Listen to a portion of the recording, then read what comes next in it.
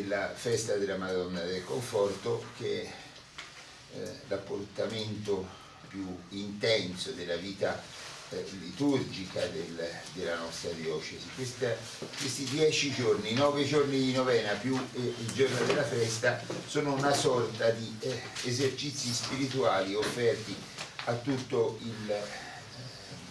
laicato della nostra, della nostra diocesi con pellegrinaggi che vengono, eh, vengono da ogni dove, eh, stasera comincia la Val Tiberina a venire su intorno, eh, intorno ai eh, nostri amici frati della Verna che eh, vengono ad animare i Vespri e la Messa. Eh, credo che il legame in tutti i giorni della novena, il legame tra la preghiera e la carità è costante. Stasera eh, ci sarà una cosa molto bella dopo, dopo cena perché eh,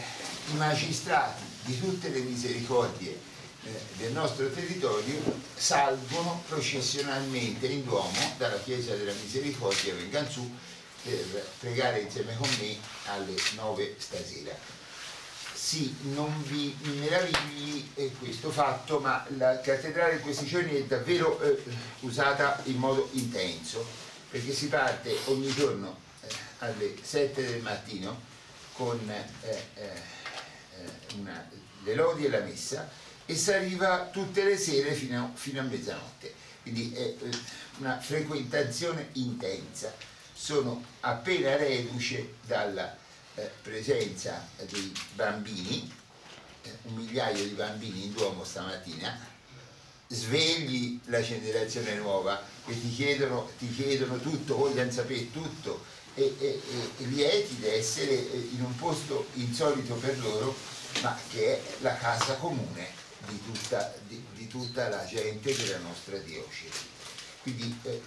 preghiere sì, ma carità anche. Eh, attenzione ai poveri insieme con la nostra riconciliazione con Dio, perché funziona una, come una specie di equazione che se tu ti rimetti d'accordo con Dio non lascerai che gli altri tribolino più di tanto. Eh, siamo,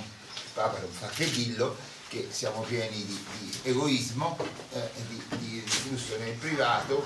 eh, l'idea che tradizionalmente si aspettano in Duomo in questa decina di giorni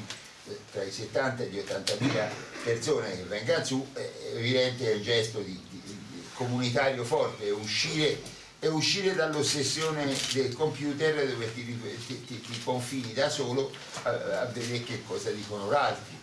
Eh, eh, credo che è un gesto che si fa anche coi piedi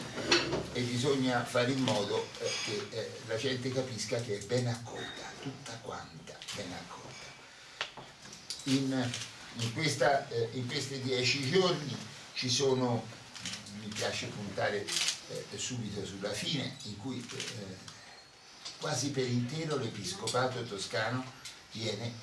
in Arezzo per eh, pregare con noi. Eh, quindi un gesto di comunione forte, non una, una storia di campanilismo. Quest'anno abbiamo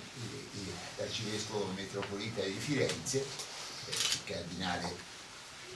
Giuseppe Pretori che viene a presiedere ah, e ci sono insieme, ci saremo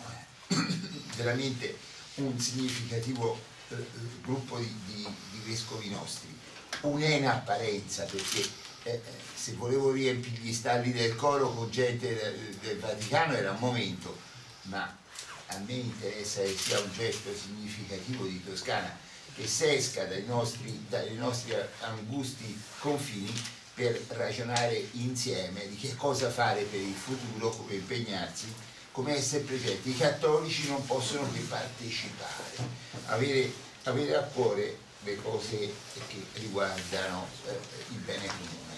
Quindi in attenzione